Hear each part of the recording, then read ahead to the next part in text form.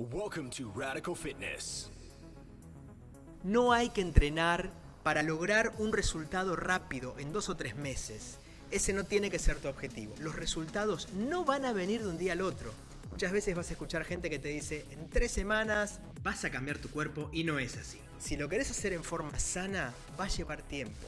Entonces, si tenemos un objetivo a corto plazo y decimos, quiero en tres meses bajar, no sé, 10 kilos y verme fantástico, empezás a entrenar y en tres meses quizás no lo lográs. ¿Y qué vas a hacer? Te vas a frustrar, vas a decir, no, la verdad, esto no es para mí, hice dieta, me maté entrenando, no logré el objetivo, no es para mí. ¿Y qué sucede? Es que tenías que darle más tiempo. Por eso es que el fitness tiene que ser adoptado como un estilo de vida. Tiene que ser parte de tu vida diaria, no te tiene que costar.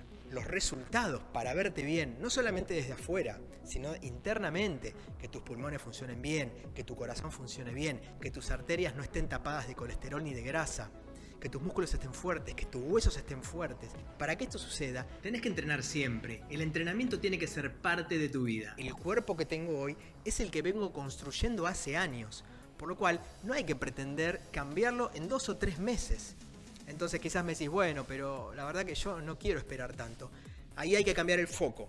No hay que pensar en la estética, hay que pensar en la salud y empezar a entrenar. Empezar y no parar. Y te aseguro que con el paso del tiempo vas a lograr lo estético, te vas a ver bien. Y lo más importante, tu salud va a estar bien.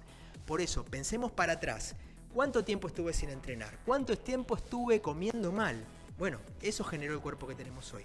Para revertir esto, tenemos que empezar a movernos, tenemos que seguir un plan y vas a ver que poco a poco y mes a mes y año a año vas a estar mejor. Tu año tiene que estar constantemente con entrenamientos, los que te gustan, con las duraciones que vos podés llevar bien y dale tiempo. Saca el objetivo de tener los resultados rápidos y no pares. Sacate esa presión y no pares. Seguí, seguí, seguí y vas a lograr tus resultados.